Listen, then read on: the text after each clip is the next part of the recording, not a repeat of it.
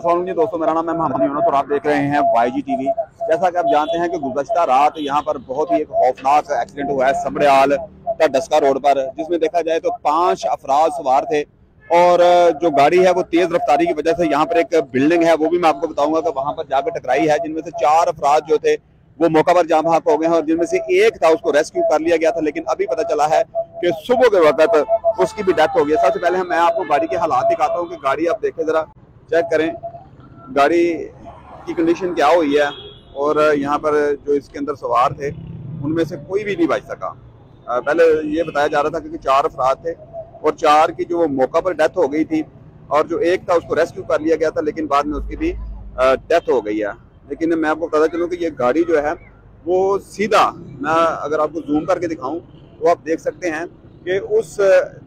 दुकान को टकराई है ये गाड़ी। और ये देखा जाए तो अभी गलती की समझ नहीं आ रही किसकी गलती है। गाड़ी तेज रफ्तार थी, इसमें कोई शक नहीं है, लेकिन उस वक्त धुंध भी नहीं थी रीजन ये भी नहीं बन सकती।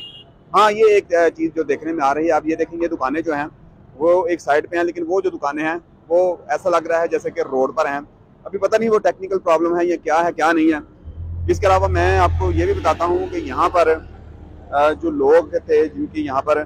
डेथ हुई है, उनका ताल्लुक जो था, वो भी डस्का थे था। सबकी उम्र 25 साल से नीचे बताई जा रही है। जिनमें से सबसे पहले मैं आपको बता दूँ बिलाल वल्द तनवीर सकना रुस्तम रोड डस्का जिसकी उम्र 20 साल है, और माज वल्द आरफ सकना रुस्तम रोड डस्का जिसकी उम्र 20 साल है, और दूसरे, तीसरे नंबर पर यहाँ पर दानश वल्द करामत अली सकना डस्का रोड, जिसकी उम्र 22 साल है, और यहाँ पर आखिर में जो चौथा आदमी था जिसकी यहाँ पर डेथ हुई थी, उसका नाम तलहा वल्द आमर हमीद सकना रुस्तम रोड डस्का बताया जा रहा है, और उसकी जा रहा है, और उसकी उम्र चौबीस साल बताई जा रही है। आखिर में एक बचने वाला बंदा था जिसका नाम एक्सन वल्द जहांगीर सकना मुंडे की ग्राया है।